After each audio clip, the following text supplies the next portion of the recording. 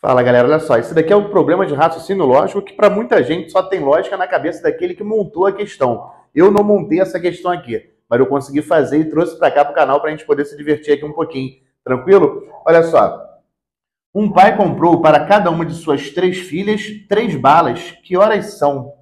E aí, galera, isso daqui é o tipo de questão de raciocínio lógico que você aguardaria na sua prova? Fala o seguinte, pausa aí, tenta resolver, fala para mim nos comentários quanto é que são, né? Na verdade, que horas são.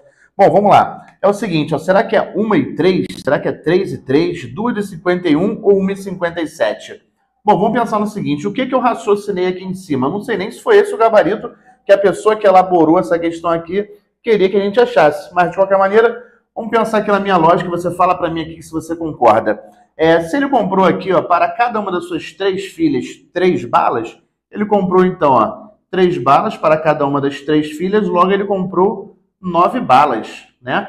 Até aqui acho que não tem problema algum, acho que todos vocês conseguiram raciocinar em cima disso.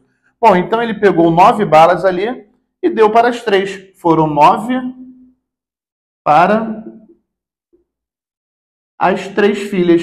Nove para as três. Então, que horas são? Olha, o único, o único horário aqui que são nove para as três é 2h51. Faltam nove minutos para as três horas.